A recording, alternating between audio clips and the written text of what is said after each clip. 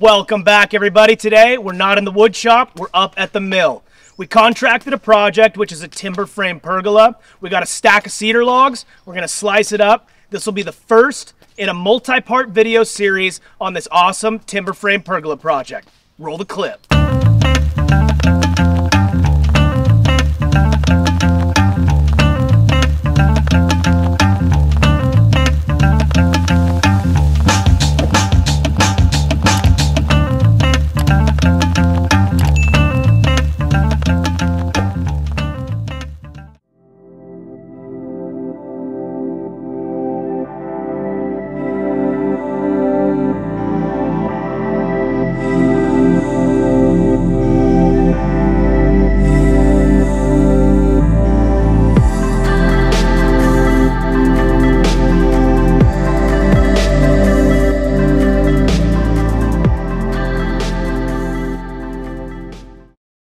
So we just got up here to our property. We had a cedar log laying on the mill from a previous project, so we just sliced it up into a couple of the dimensional pieces that we'll need for the project. This timber frame pergola is going to be supported by two 6x6 verticals, one long 6x6 stringer, and there's going to be a lap roof that's made out of 2x8 solid pieces. We just cut a few 2x8s out of this cedar log, and over here we got a stack of logs we picked up over in Sandy, Oregon. It's all what's called incense cedar, which is uh, a cedar that has an incredible resistance value outdoors. Uh, it also smells incredibly good. So we're gonna take this pile of logs, cut all of our six by sixes, the rest of our two by eights, and all the rest of the dimensional lumber today that we need for this project. The next video will be starting on the construction of the columns and cutting the joinery for the timber framing. So stay tuned, check it out. We'll start cutting into this stuff.